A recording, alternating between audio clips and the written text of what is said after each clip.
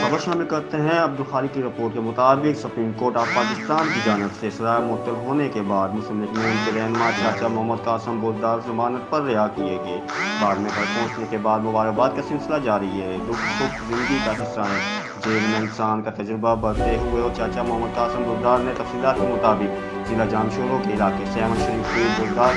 ने तल्लुक को रखने के लिए